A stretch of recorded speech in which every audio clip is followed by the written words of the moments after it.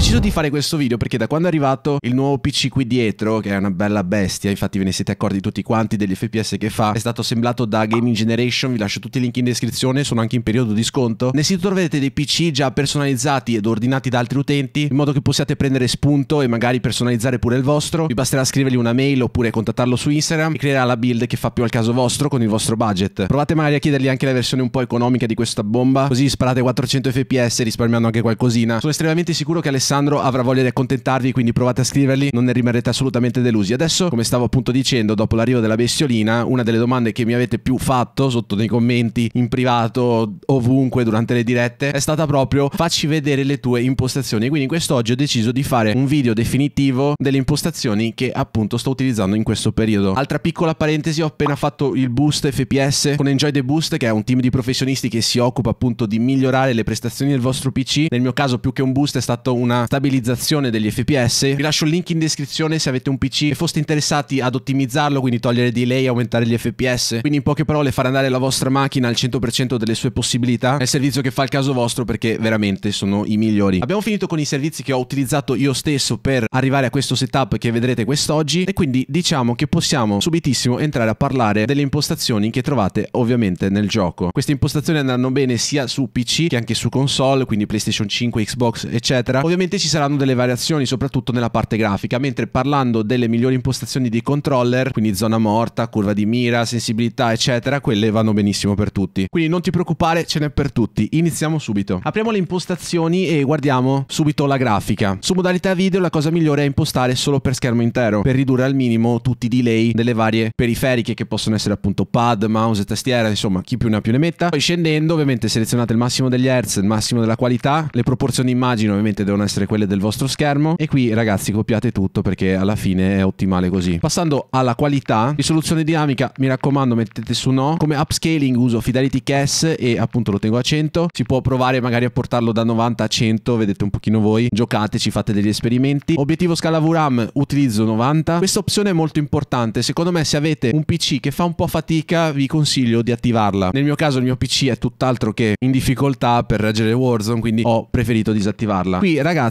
molto importante selezionare tutte le opzioni basse oppure addirittura toglierle, come in questo caso me le sto facendo scorrere lentamente proprio per appunto fare in modo che voi possiate fare uno screen e copiarvele. Mi raccomando, mettete tutto basso. Su Warzone non ha davvero senso pensare alla grafica, principalmente perché ci sono stati degli studi che hanno appunto affermato che il nostro cervello si stanca molto di più quando sono presenti molti più dettagli all'interno del gioco, all'interno del nostro schermo. Quindi se noi stiamo visualizzando tutta l'erba, ci sono dei quadri, ci sono dei divani perfetti, delle sedie tutte dettagliate con magari qualche crepa. Sto facendo degli esempi. Magari noi nemmeno stiamo pensando a quelle cose, però il nostro cervello, i nostri occhi stanno captando quelle informazioni e quindi perderemo molto prima il focus. Per questo vi consiglio di tenere tutto al minimo per non stressarvi troppo. Su visuale io vi consiglio di tenere il campo visivo a 120, mettere relativo, poi la visione dell'arma ovviamente mettete larga, è più bello secondo me anche esteticamente parlando e qui appunto potete copiare tanto le cose importanti sono togliere ovviamente il motion blur e mettere 50 e 50, poi tutto il resto è un po' inutile, ok? Passiamo all'audio, dopo vi darò qualche consiglietto, qualche chicchettina molto interessante e che molti trascurano, ne sono sicuro di questa cosa. Io sto utilizzando in questo periodo altoparlante PC oppure home theatre. Sono due impostazioni che personalmente ho trovato molto buone, almeno nell'ultimo periodo, in accoppiata con il loudness equalization che dopo vi faccio vedere come attivare, si può attivare però soltanto su PC. Andando giù qua vi apro appunto come tengo il mio mix audio, chat vocale, vabbè mettete voi quanto volete sentire la chat vocale e qui cercate appunto di copiare queste impostazioni perché vi permetteranno di sentire di vedere il nome di chi sta parlando non facendovi spottare perché modalità microfono io ho premi per parlare quindi dovrò premere Z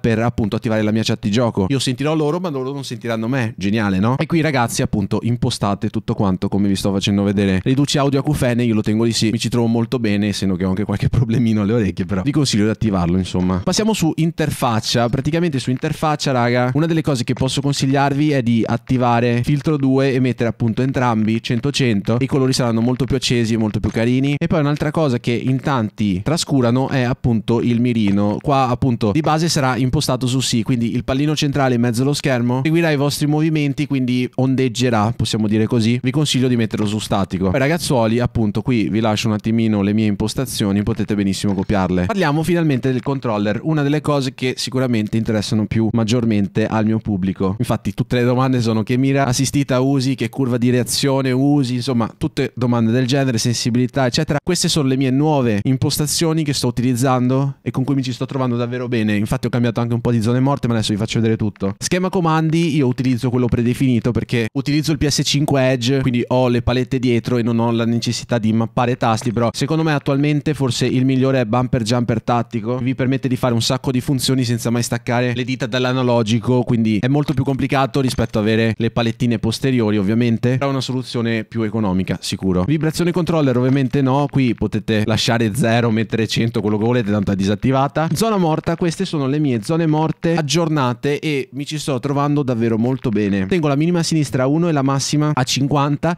quella di destra l'ho impostata a 6 vi consiglio di impostarla da un range di 5 fino a un massimo di 12 e quella massima a 99 poi i grilletti ho messo a 3 potete mettere 2 quello che volete raga insomma state in un valore abbastanza basso questo appunto ve lo consiglio. La zona morta può essere regolata sia in base all'usura del vostro pad quindi se avete un pad molto usurato che tende a muoversi da solo ovviamente dovrete tenere questo valore quello di destra leggermente più alto. Se invece avete un pad nuovo di stecca che funziona tutto alla perfezione io vi consiglio di impostare circa 6 andiamo su puntamento io utilizzo 10-10 di sensibilità. Scendendo possiamo trovare la curva di mira dinamica e appunto l'ho tenuta a 1 mi ci trovo molto bene con dinamica non ho mai avuto la necessità di cambiarla quindi non uso né lineare né standard. Usate dinamica secondo me è la migliore. Prendeteci la mano e secondo me spaccherete tutto. Non vado a cambiare nessun moltiplicatore generale ma vado a personalizzare ogni sensibilità dello zoom. Quindi qua imposto sì apro appunto il menu a tendina e queste sono le sensibilità per ogni tipo di zoom. Vi faccio un esempio concreto. Avendo impostato 10-10 di sensibilità quando io andrò in modalità mirino avendo messo un valore di 0,80 ridurrò del 20% la mia sensibilità. Quindi sarà come mirare con 8 di sensibilità. Vi consiglio qui di tenere almeno in questi primi tre. Un valore che va dal 0,70 fino appunto all'1 non mettete valori troppo bassi perché vi troverete ad avere una sensibilità molto alta magari in modalità mirino libera e poi quando andrete a mirare rallenterà troppo e non riuscirete a fare delle buone traccate. Quindi trovate la vostra sensibilità giusta e il vostro moltiplicatore. Più alta è la sensibilità più il valore secondo me si dovrebbe avvicinare allo 0,70 questo è un pochino il tutto. Andando giù ovviamente mira assistita sì per forza. Tipo di mira assistita predefinito. E qui appunto lasciate tutto quanto com'è. Andiamo su gioco. Queste adesso ve le faccio scorrere sono le mie impostazioni. Fategli un bello screen e copiatele. Secondo me sono le migliori. Alcuni le utilizzano un po' diverse però con questi io mi ci sto trovando un sacco ma veramente un sacco bene. Provatele fatemi sapere ovviamente qui sotto nei commenti come vi siete trovati. Penso che abbiamo detto tutto. Insomma vi faccio dare un attimo una breve occhiata di nuovo a queste impostazioni così che non possiate sbagliarvi. E vabbè queste giù sono praticamente tenute standard. Le cose che ho cambiato sono principalmente queste che sono le più importanti ok? Con queste nuove impostazioni sono sicuro che la vostra mira e il vostro movement miglioreranno sicuramente. Ne sono convinto al 100% vi lascerò tutti i tutorial qui sotto in descrizione quindi se dovete allenare la mira c'è un video dedicato. Se volete migliorare nel movement anche in questo caso c'è un video dedicato dove spiego passo passo tutto quanto. Se sei arrivato a questo punto del video e dai il pc mi ringrazierai perché adesso ti sto per svelare un'impostazione che già ti ho fatto vedere precedentemente ma che ho un pochino ottimizzato. Se giochi da pc sicuramente saprai che esiste una cartella che si chiama Call of Duty in Documents componenti. Questa cartella contiene tutte le informazioni grafiche del gioco e che appunto sono state ottimizzate da Enjoy the Boost. Quindi se vuoi anche tu un'ottimizzazione, una riduzione ulteriore di tutti i vari dettagli di cui ti ho spiegato prima e quindi ottenere un boost di FPS e comunque di prestazioni nel gioco, fatti sistemare questa cartella perché veramente è abbastanza importante. Comunque io ti faccio vedere un'altra impostazione che si chiama Game Profile Zero Base. Dovrete aprirla con il block notice, fate CTRL F, cercate sprint, premete invio e qui ragazzi sarà impostato 400. Mettete non 0, mettete 1. Io mi ci trovo molto bene con 1. In poche parole tenderà a farvi fare meglio lo slide senza alcun delay quando andrete ad attivare lo scatto tattico automatico. Insomma, non mi sono spiegato, lo so, però provate, mettete, fate un po' di esperimenti, vedrete che vi troverete sicuramente bene. Adesso ti faccio vedere anche come adesso però ti faccio vedere anche come migliorare l'audio. Molto semplice, ti basterà aprire impostazioni audio, scorri giù e apri altre impostazioni audio, dispositivo con la quale ascolti l'audio, vai su caratteristiche avanzate, equalizzazione sonorità, cliccaci sopra, apri le impostazioni e sposta tutto quanto su breve, premi ok, applica e di nuovo fai ok. In questo modo i tuoi suoni saranno molto più bilanciati, sentirai molto meglio i passi e sono sicuro che ti troverai molto meglio. Provate queste impostazioni, lasciate un like, un commentino e fatemi sapere come vi siete trovati. Inoltre non dimenticarti di iscriverti al canale se vuoi sostenermi e supportare questo mio percorso. Grazie mille veramente se lo farai. Ringrazio tutti quanti per la compagnia e per la visualizzazione. Alla prossima, bella boys!